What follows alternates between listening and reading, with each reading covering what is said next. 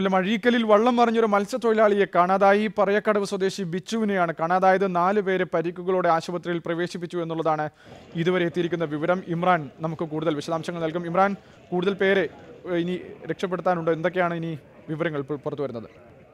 സഹൽ ഇന്ന് രാവിലെ ഏഴ് മണിയോട് കൂടിയാണ് ഈ സംഭവം ഉണ്ടായത്. അഴീക്കലിൽ നിന്നും മത്സ്യബന്ധനത്തിന് പോയ വള്ളമാണ് അപകടത്തിൽ പെട്ടത്. ഹാർബറിന് സമീപം മുട്ടിൽ ഇടിച്ചാണ് ഈ അപകടം ഉണ്ടായത് എന്നാണ് നമുക്ക് മനസ്സിലാക്കാൻ സാധിക്കുന്നത്. കാരണം ശക്തമായ ഒരു കാറ്റും തിരയും ഉണ്ടായിരുന്നു ഇതിൽ ഈ ഇതിൽ വള്ളം ആടി ഉലയുകയും ഒപ്പം തന്നെ ഈ മുട്ടിൽ വന്ന് തട്ടുകയുമായിരുന്നു എന്നാണ് മത്സ്യത്തൊഴിലാളികൾ പറയുന്നത്.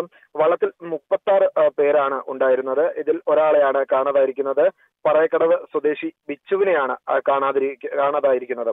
ചെറിയ വീക്കൽ സ്വദേശിയായ ബാബുവിന്റെ ഉടമസ്ഥയിലുള്ള ശ്രീമുത്തപ്പൻ എന്ന വള്ളമാണ് തിരയിൽപ്പെട്ടിരിക്കുന്നത്. ഈ വള്ളത്തിലുണ്ടായിരുന്ന നാല് പേരെ അവിടെ ഉണ്ടായിരുന്ന മത്സ്യത്തൊഴിലാളികൾ തന്നെ രക്ഷപ്പെടുത്തുകയായിരുന്നു. ഇവരെ കരുനാഗപ്പള്ളിയിലെ താലൂക്ക് ആശുപത്രിയിൽ പ്രവേശിപ്പിച്ചിരിക്കുകയാണ്.